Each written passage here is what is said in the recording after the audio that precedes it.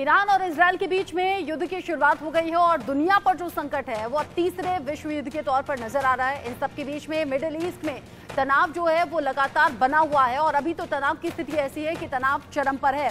Middle east का ये तनाव दुनिया के बाकी देशों पर भी असर किस तरीके से डालेगा, ये बड़ा सवाल लोगों के जहन में बना हुआ है। इन सब के बीच में बेंजामिन नेतन्याहू ने वॉर कैबिनेट की मीटिंग की है। बड़ा अपडेट, नेतन्याहू ने आर्मी को रेडी रहने के लिए कहा है।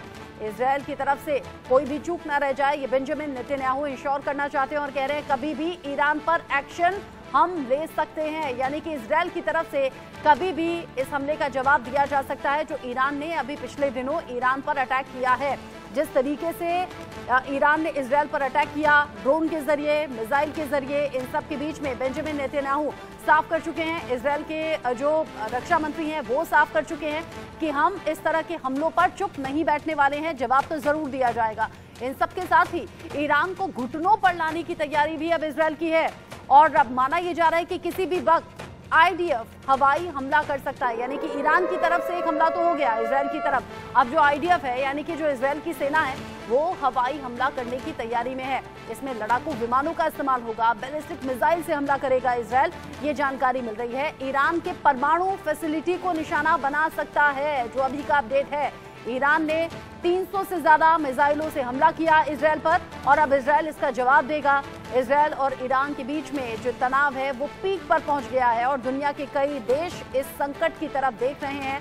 अगर ये युद्ध छिड़ता है और अगर ये युद्ध और ज़्यादा विकराल रूप लेता है तो फिर इससे दुनिया से कई और जो देश हैं, वो प्रभावित होंगे। और सिर्फ़ ऐसा नहीं है कि दो देश ही इसमें पिसते हुए नज़र आएँगे, महँगाई या फिर मंदी, इन सभी चीज़ों के अलावा और भी अलग अलग तरह की दिक्कतें अलग अलग देशों को हो सकती हैं।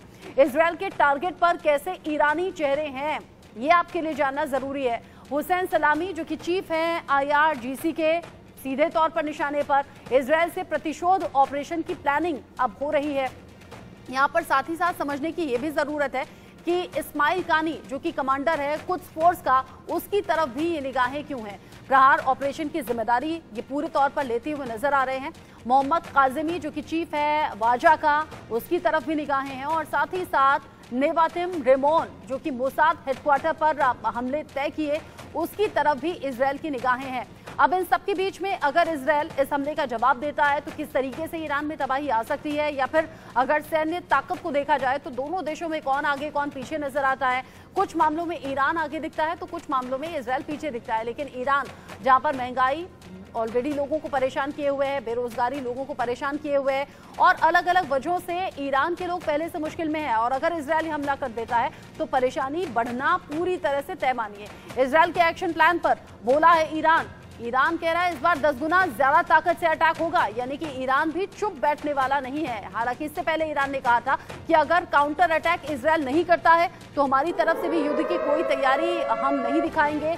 लेकिन अभी ईरान कह रहा है कि अगर कोई हरकत की तो फिर से हम हमला करेंगे। यानी कि 300 मिसाइलों, ड्रोन से जो हमला किया गया ईरान की तरफ़ से, हालाँकि इसराइल ये दावा कर रहा था कि उस हमले को पूरी पूरी तरह से, लगभग पूरी तरह से नाकाम कर दिया गया। कोई बड़ा नुकसान नहीं हुआ और इसीलिए कॉन्फिडेंट इसराइल बना हुआ है और इसराइल का जो कॉन्फिडेंस है, ये बार बार इस तरह के बयानों को सामने ला रहा है कि ईरान को बख्शेंगे नहीं।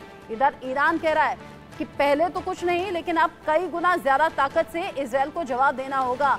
ईरान के परमाणु फैसिलिटी को अगर निशाना इसराइल बनाता है तो ईरान के लिए बड़ा नुकसान होगा। लेकिन ईरान ने भी इससे पहले 300 जिस तरीके से मिसाइल और ड्रोन का इस्तेमाल किया, उससे भी बौखलाया हुआ इसराइल नज़र आ रहा है। और सबसे बड़ी बात यह कि शक्तिशाली देश अमेरिका की तरफ़ से इसराइल के कंधे पर हाथ रखा गया है और ये कहा गया है हम इसराइल की रक्षा के लिए प्रतिबद्ध हैं, यानी कि अमेरिका जैसा शक्तिशाली देश अगर इसराइल के साथ है तो यहाँ ईरान की मुश्किलें बढ़ना तय है। अब साथ ही साथ इसराइली प्रतिशोध ब्लूप्रिंट की जो टीम है, वो किस तरीके से तैयार की गई है और किस तरीके से आगे इंस्ट्रक्शंस दिए जाएँगे फॉलो किए जाएँगे, आप जानिए। जिसमें नंबर एक पर बेंजामिन नेतन्याहू, जो कि इसराइल के प्रधानमंत्री हैं, वो नज़र आते हैं और उन्हीं की तरफ़ से ये इंस्ट्रक्शन दिए जाते हैं कि कब क्या, कौन से कदम पर करना है। साथ ही साथ वॉर कैबिनेट के सदस्य हैं इसराइल में बेनी गैंट्स। इनका भी बड़ा रोल है, बड़ी भूमिका है, जो कि युद्ध की इस स्थिति पर नज़र डाले हुए हैं। जो वॉर कैबिनेट हम बार बार कहते हैं ना, ये वही वॉर कैबिनेट के लोग हैं। रक्षा मंत्री हैं जो इसराइल के योब गैलेंट। इस युद्ध पर तो निगाहें लेकिन इसराइल के लोगों को भी कॉन्फिडेंस में लेना है, ईरान को भी कड़ा जवाब देना है और इसीलिए माना जा रहा है कि इसराइल अब हमला कभी भी कर सकता है। इनके अलावा हरजी खलीवी हैं, जो कि चीफ ऑफ़ जनरल स्टाफ हैं इसराइल के, वो भी कह रहे हैं कि ईरान ने जो किया, अब उसका खमियाजा ईरान को भुगतने का नंबर आ गया है। इन सबके साथ ही एलिफ टॉमर हैं, जो कि वॉर वायुसेना प्रमुख हैं। क्योंकि जब जब वॉर की स्थिति होती है, जल, थल, नभ, यानी कि हवा के ज़रिए, ज़मीन के ज़रिए, पानी के ज़रिए, तीनों ही मोर्चों पर कैसे सामने वाले को खदेड़ना है या फिर कैसे अटैक का जवाब देना है, ये सेनाओं की भूमिका अहम रहती है। ब्रिगेडियर जनरल गिलाड बिरान है, जो कि चीफ है एरोस्पेस मिसाइल फोर्सेस के। इसके साथ ही डेविड बांडिया है, जो कि चीफ हैं मोसाद के। और अब जिस तरह की अभी तक की प्लानिंग है वॉर कैबिनेट के साथ लगातार मीटिंग्स बेंजामिन नेतन्याहू कर रहे हैं। वो इसराइल जो कि पहले से हमास के खात्मे के लिए मोर्चा लिए हुए है, इधर आईडीएफ की जो तैनाती है, वो है सैनिकों की छुट्टियाँ रद्द कर दी गई हैं। सैन्य शक्ति को बढ़ाने की कोशिशें लगातार हो रही हैं। उधर हमास से तो मोर्चा ले रही थी, लेकिन इधर ईरान ने मुश्किलें बढ़ाने की कोशिश की, लेकिन इसराइल अब पूरी ताकत के साथ ईरान के इस हमले का जवाब देने की तैयारी कर रहा है और साथ ही ईरान जो कह रहा था, हम अपनी तरफ़ से कोई हमला नहीं करेंगे, अगर काउंटर अटैक होता है तो हम जवाब देंगे। वहाँ ईरान भी इस तरह की अब बयानबाजी करने लगा है कि अगर इसराइल ने हमें हमें नुकसान पहुँचाने की कोशिश की, हम पर हमला किया तो फिर हम पहले से कहीं ज़्यादा ताकत के साथ उस हमले का जवाब देंगे। युद्ध की स्थिति बनी हुई है।